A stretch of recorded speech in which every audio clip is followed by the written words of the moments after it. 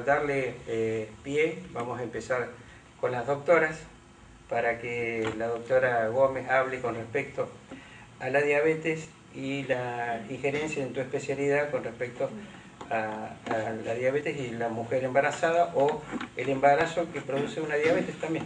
Sí, eh, bueno, lo, primero vamos a definir lo que es una, diabetes gestacional.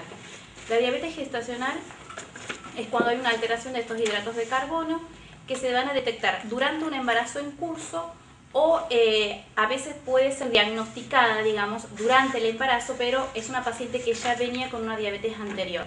Entonces tenemos dos grandes grupos de pacientes. Aquellas diabéticas que se embarazan y posterior tenemos aquellas pacientes que están embarazadas y que posteriormente se les descubre su diabetes. ¿sí? ¿Cómo hacemos el diagnóstico en las embarazadas? Generalmente nosotros en los controles obstétricos lo que pedimos son las glucemias en ayunas. Si esas glucemias en ayunas vienen alteradas con dos valores de, por arriba de 100 miligramos por decilitro, se hace el diagnóstico. A veces es necesario eh, provocar, digamos, esta alteración para que sea detectada, porque muchas veces suele ser asintomática. ¿Y cómo, cómo hacemos esto? Lo primero que hacemos es eh, sacar una glucemia en, sangre en, horario de, digamos, de ayuna, y posteriormente se le da de tomar una solución que es muy azucarada a la embarazada durante 5 minutos. Posteriormente aproximadamente unos 120 minutos más tarde, se vuelve a tomar la glucemia y si ese valor está por arriba de 140 miligramos por decilitro, se considera a esa paciente con una diabetes gestacional. ¿Cuál es la importancia, digamos, en sí de saber si esa paciente es diabética o no? Porque tiene muchas implicancias y complicaciones a nivel tanto de la madre como del feto. A nivel, digamos, materno va a estar condicionado eh, si es aquella paciente que es, diabética y se embaraza de la paciente que se descubre durante su embarazo. ¿Por qué? Porque generalmente la paciente que ya tiene su diabetes de antes tiene todas las complicaciones que aparecen en una persona que es diabética. Problemas renales, problemas cardiológicos eh, y a nivel sobre todo también ocular. Entonces, cuando una paciente de estas características se embaraza, es mucho más probable que el embarazo altere, digamos, su enfermedad de base y se produzcan más complicaciones.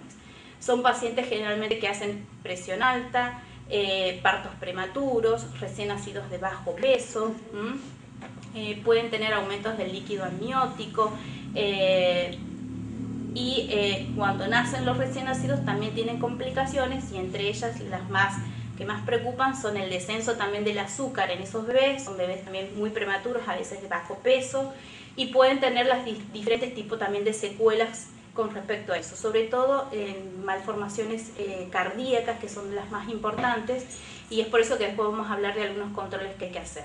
Las pacientes que se embarazan y que posteriormente se les descubre la diabetes, generalmente tienen tendencia a tener bebés mucho más grandes, es decir, mayor de 4 kilos, eh, son pacientes que también hacen complicaciones de presión alta, eh, también pueden tener aumentos del líquido amniótico, es decir, el líquido que recubre, digamos, al bebé, y tienen también problemas eh, durante el trabajo de parto, porque al ser bebés más grandes, el parto puede ser instrumental, es decir, ayudado con forceps, o a veces provocar pequeñas distocias en los hombros, es decir, es como que el bebé queda en el canal del parto porque es muy difícil que salgan los hombros al ser bebés grandes.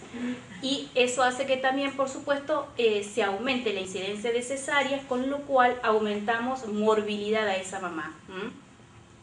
Cuando nosotros hablamos de eh, diagnóstico en sí de la diabetes, hablamos, digamos, también eh, junto el tema del tratamiento.